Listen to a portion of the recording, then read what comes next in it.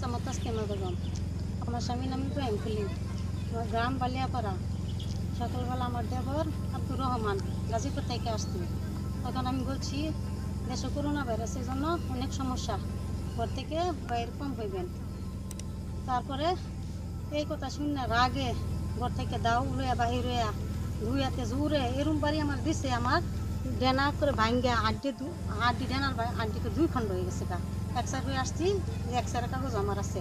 এই যে আমার হাতটা দেখেন যে হাতটা কেমন হাতটা কেমন? আমার পরিস্থিতি খুব খারাপ। আমি অনেক কষ্ট কথা বলতেছি।